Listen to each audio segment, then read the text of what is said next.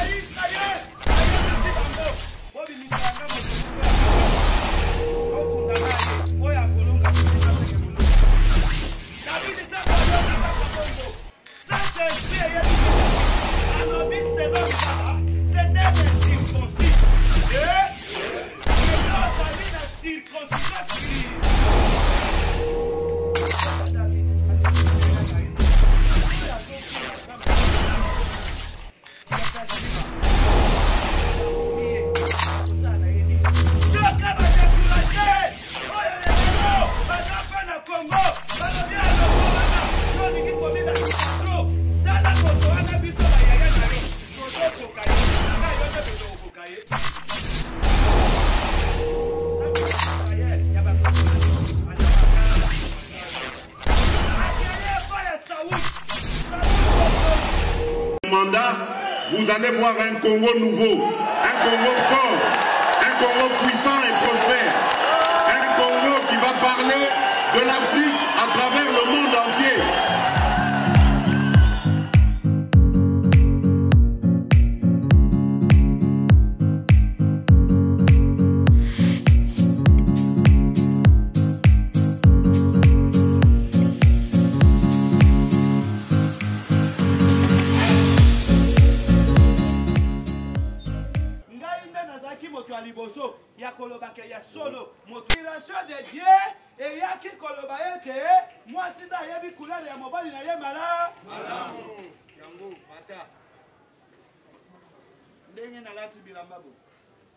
oyebi kaleso nini nalati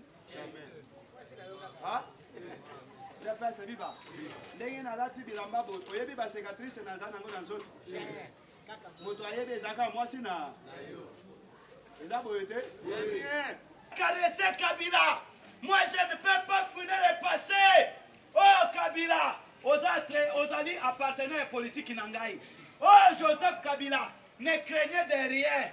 Bato wana bazokosa yo. Bango nde bamemaki Mobutu na Maroc. Udps viva! Viva!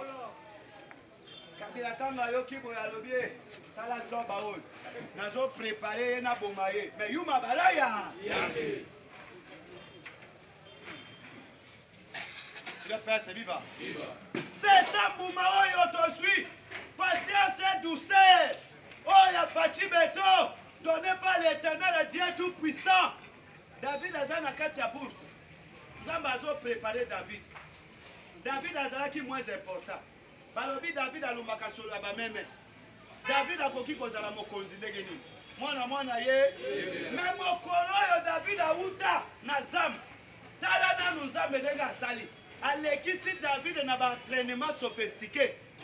David aza nanu mwana moke elenge, abomi ngongo, abomi ngombolo idps viva tigre ekangi mwana ya pate david alobi jamais ngai nazali mwana ya elaka napakwama mafuta mpate ya papa na ngai ekoki kokende te alandi ngombolo likofi moko awa bum ngombolo akufi atiki mwana mpate azwi mwana mpate ya tata na ye amemi le jour aveni aye kotala lisusu lio akangi mwana ya mpate ya papa na ye akei azwi lio na vi na ye mobili atyeka maboko boye apasoli mbanga udps viva yo akufi david ntango aye kotala papa na ye alobi e eh, papa naye komona bino papa na ye ayebisi ye bandeko na yo baza na bitumba zwa nanu biloko ya kolia panda de semaine oyo bakenda chiffre 14 idps viva na kokota na profondeur ya makambo wana te Udps viva.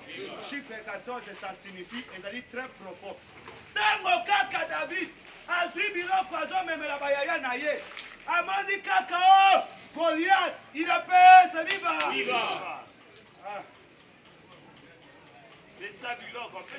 ntango david akei amoni goliate azotone na ngomba azofinga nzambe ya israele azofinga nzambe ya israele ayebisi bango bobimisela nga moto moko ya makasi tobunda na ye oyo akolonga moninga seke bolongi biso davidi ntango ayoki kaka bongo saint esprit eyebisi david alobi selomi la c'est un incirconcis eh? yeah.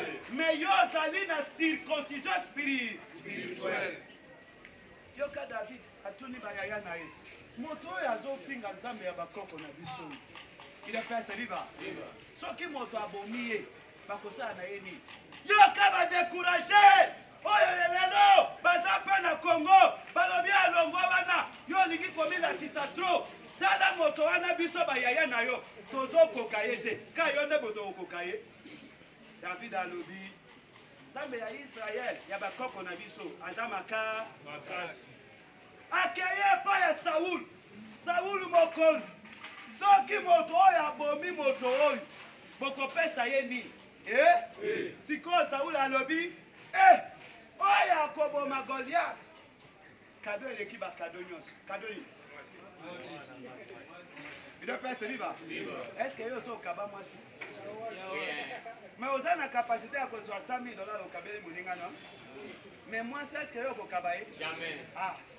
Bido pese viva? Viva. David ayebisi ye alobi soki nabomi moto oyo bokopesa ngai nini? Saul ayebisi ye nakopesa yo mwana na ngai ya liboso ya mwasi. Ee, nakoma bokilo ya bokonzi, bokilo ya roi alobi ngai nazobunda na moto wana udps viva parceke ayokaki promotion ayokaki proposition ya kado eleki bakado david alobi ngai nazokende saul azwi biloko ya masumu udps viva makambo nazoloba na yo udps viva tozoya kokende mpo ete boyoka badecouvert oyo ba information to e revelation oyo ebimi na coffre fort efo na conscientise yo mpo oyeba sasa ya nzambe oyo azobundela biso na république démocratique du congo ntango kaka david alati biloko wana nzambe ayebisi ye longola biloko ya masumu na nzoto na eh?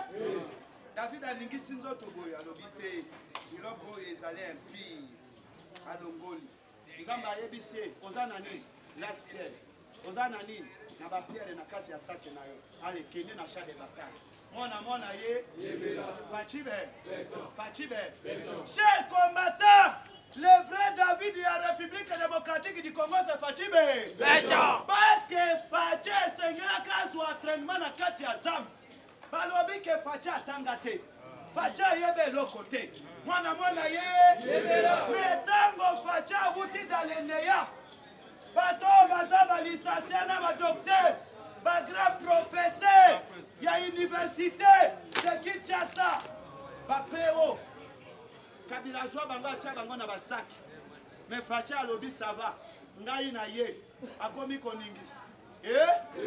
ila pesa viva enezo uta wapi paske david abomi goliat bato oyo bayembaka loyembo te yeba ke mongongo ya mama eleki mongongo ya, ki, ya mobali na kito eh, bobetela nano soki chaso ya mwasi eh, saola abomi 1000 me david abomi 10 000 ene ekotaka te esali nini omoni makambo oyo nazoloba na bino yango nde ezoya na kongo lokola bandoki wana bakokaka kagame te bakokaka communauté internationale te moto oyo babanda kobenga ye paseko moto oyo atanga te akomi kodeboulone communauté internationale akomi kodebulone kagame mwana mwana ye ene ekotaka te esa nini sikoyo bamama bakoma oyembi bolaki na goma basaleli faci eh, idepese viva Marche de soutien lolenge akangi mwanga. Mwanga Jesus. Betela nanu Fatshi Balesutisa oyo ya Nord Kivu balobi Fatshi wumela Fatshi na biso bakei kosala prière d'ensemble mpo ete Fatshi Nzambe abatela ye maka. Makasi. Nalobi bisika tobanda ko vivre. mwanga chuchu akanga yango azwa ba rwandais atia e eh? moyen mwana bona ya goma avivre lisusu biloko nyonso ekomi kokende na rwa udps liba bacibe basaleli ye priere basali marche de soutien eh? boyoka tozongi na kati ya coffre fort oyo ya mwanga chuchu makambo oyo ebimi mikatsa dossier oyo ebimi kuna sikoyo efo eh, bazwa baexpert babanda koetudie dossier na dossier udps viva bakuti dossier ya assassinance ya laura désiré ka kabila udps viva bokanga baemotion na bino tozoya udps viva ntango tobanda koloba bakeno kabila le pere moto aboma ye eza epolite kanambe kaze bato ebele babanda koloba mwana na ye akoboma papa ndenge nini mwana mwana ye bakei kokuta dosie ya etiene tshisekedi wa mulu lolenge babomaki ye lolenge bayokanaki na badoktere wana mpo ete baasasine ye yango wana boyokaka wili mishika alobaka boye alobi soki tisekeda azongi na tie loboko na nga boka akanga ye dosie wana na kote ya coffre fort udps viva boyoka lisusu basali koya kokuta dosie oyo balingaki koasasine facibe bato oyo basinaki na kati ya dosie na koloba ndambo nakoloba ye nyonso te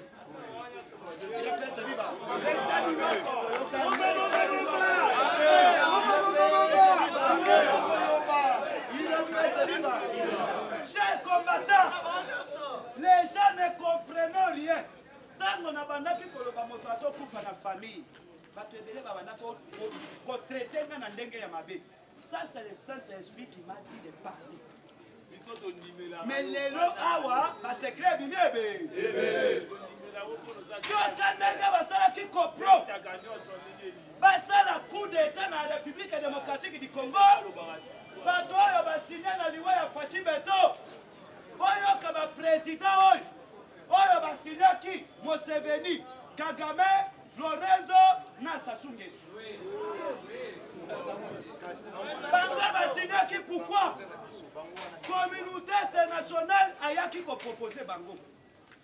Lokola ba interet na biso president congolais atelemeli yango, biso tozosala coup d'etat avec 4 milliards de dollars américains na kati ya coffre fort ezalaki réservation d'argent mpo na kokorompre bagénéraux na biso baoyo balingaki kosala mobulu après l'assassinat ya facibe depese viva balingaki kosala angola kotinda force na ye Brazzaville atindi force na ye. Museveni atindi force na ye mpe Rwanda atindi force eh? depese viva pourkui balingaki kosala eloko wana mpo ete bamaitrise makambo parceke bakei kokuta lisusu efo bakabola congo a quatre parti me moto oyo aye koapeshe bango ezali facibe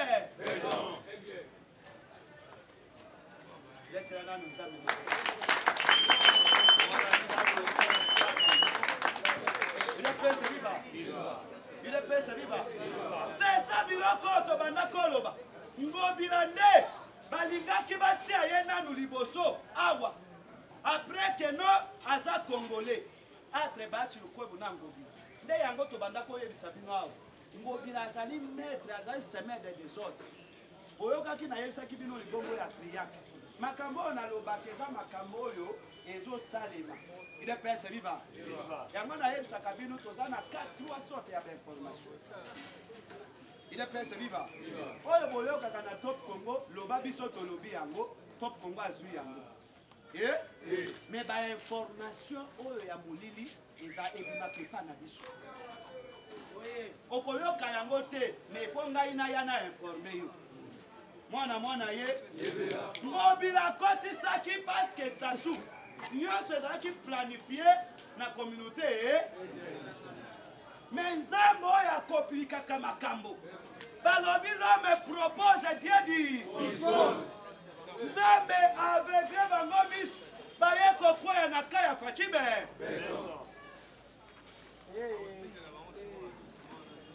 ya pese viva photocopie eza original eh? Chers combattants, peuple congolais, botala lolenge makambo ezokende.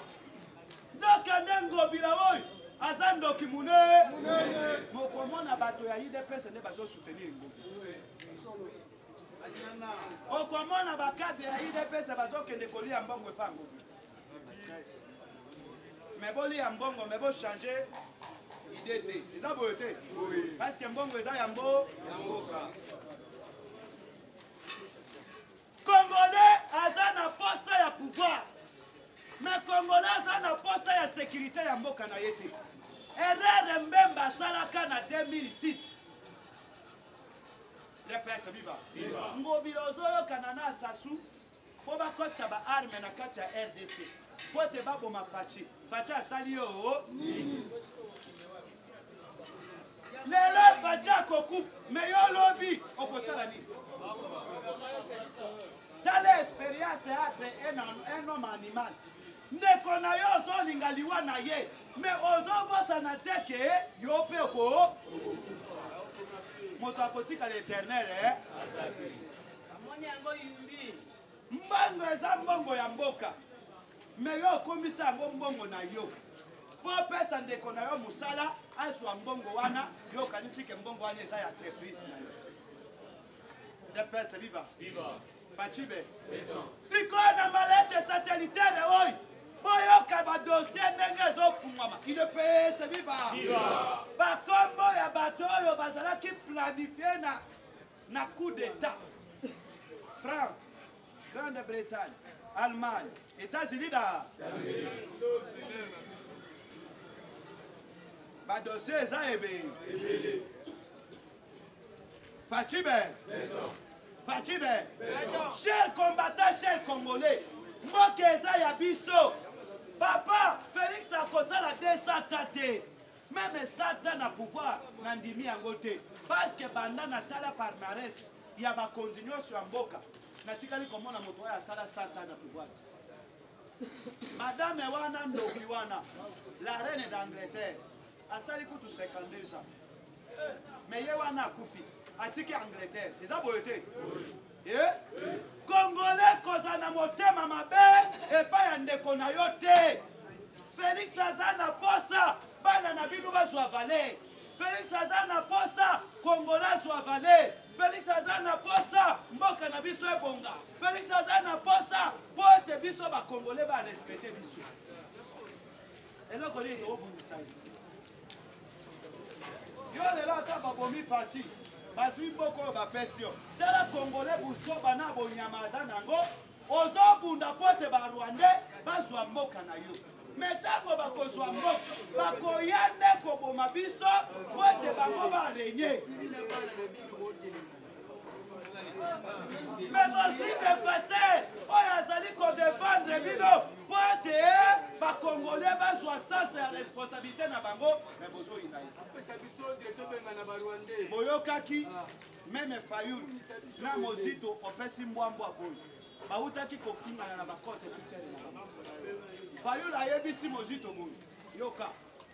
Yo ozofinga nga ke naza étranger. Il est pèse viva. Viva. Fachibe. Fachibe. Cher combattant. Tolobaki ke boyeba nanu ke oyo ya Nzambe aza ya Nzambe. Ata botongi ye boyeba ke information ekobima na kwa. Fayulu ayebisi Mozito boye ozofinga nga ke naza étranger mais yo nde oza na complot ya destruction ya Congo parce que olekaki na TV5 monde oliaki mbongo ya Kabila eh? Yeah. Yeah. Mwambe ekoti ze. Zero. okendaki koloba ke no nous avons maître les sécurité seke biso nyonso toza liboke mo moto akozala mosato liboso ya félix aza ah.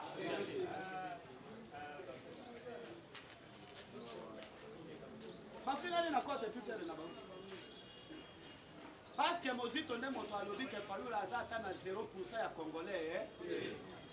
ayeka poitie secret ya cher combattant peuple congolais efo tozonga bato efo tozala bato toyeba lolenge nini oyo tokoki komema mboka na biso udps viva nayebisaki bino ke bozela nanu mbonda mosusu ezoya kobeta oyo ekobeta tour oyo ebele mpe bakopike bakrize bakufi nayebi eloko nalobaka ela pese viva facha azalaka soki abetika munduki moko mpa anyati nano frais ye awa tozaka na dossier ya mongacuti eza boye te mais bozela tolobaki bamikolo moko les égyptiens que vous voyez bokomona bango lisusu je vous assure atake politicien nayebi eloko nazoloba boyebaka esika tozali awa bato ya anere bazali awa mata mokolo moko te moto akointerpele ngai parce que nazali sur le chemin eza place ya viva makambo nazoloba ezali makambo oyo eza sur le terrain eza place ya viva mbonda kala mingi te ezobeta oyo ekobeta tour oyo ekolumba solo ebele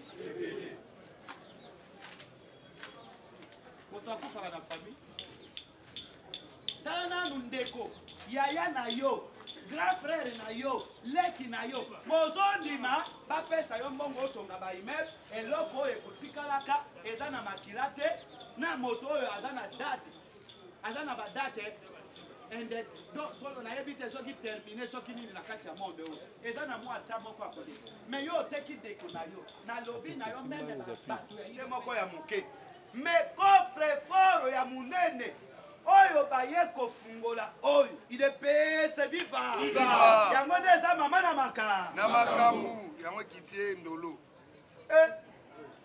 idepese viva idepese viva tombola tombola kangaba